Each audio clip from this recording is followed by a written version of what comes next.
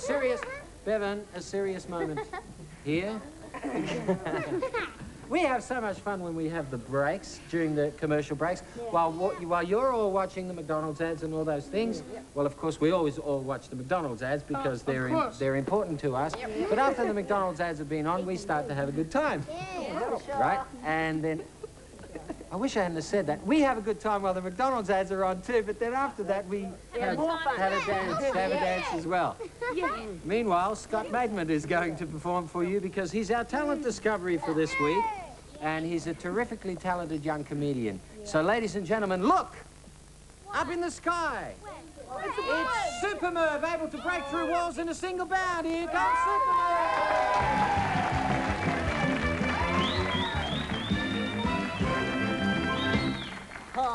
Hi. I'm Mervyn Hackenhoft, but I'm not really Mervyn Hackenhoft. Sounds confusing, hey? What I really am is a superhero. Yes, yes. Oh, I know, I know. I find it hard to believe myself sometimes. Oh, now because of my superior intellect and lots of brains, I can tell you're not convinced. So, what if I told you that beneath this coat I've got on my superhero suit? And what if I told you it was bulletproof? What if I told you it was hurricane and meteor proof? Yes. What if I told you, wait, what if I told you it was beetroot stain proof? Well, well, if I did tell you that, I'd be lying. But uh, I have got on quite a nice pair of red tights that I got half price from Woolies. How about I show you? How about I show you? Uh, okay. I usually get changed in post boxes, but Australia Post's been complaining lately. They say I've been cluttering up their boxes with my underwear. So, here goes. Ta-da! Oh, Take any notice of all the little rips and tears. They all have very special sentimental value to me. See this hole here? It's where I dodged a speeding bullet. See this here? It's where I fought off a two-headed dragon. Oh, and uh, this stain here is, uh, oh, I can't remember what that, that's a Vegemite stain from yesterday's lunch. Oh, oh, you still don't believe that I'm a superhero, do you? So, I, Super Merv, before your very eyes, will attempt to defy gravity. Yes, I'm going to fly. Oh.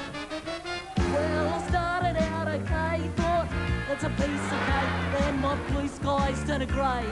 Break after break, my third microsurgery. I started to cry, I thought there'll never be a day when I fight. So I rang up Superman. He said it's easy. But after that brick wall, I knew why it worked for me. I was determined to go on, and try after try. I thought there'll never be a day when I'll fight and to fly around the world to save our slave. But I took the easy way. I went by jet plane, there is no hope for me. I thought I would die because there'll never be a day. Oh. Here goes. Up, up, and away. Up, up, and away. Up, up, up, up and away. There'll never be a day when I fly. Taxi!